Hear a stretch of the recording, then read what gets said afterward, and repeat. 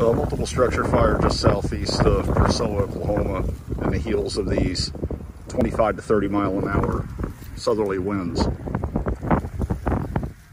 and dry conditions with a high fire danger.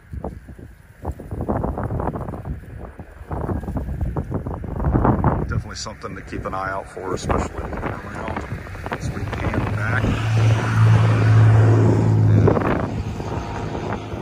wooded area in the path of this, so hopefully they can get this extinguished relatively quickly.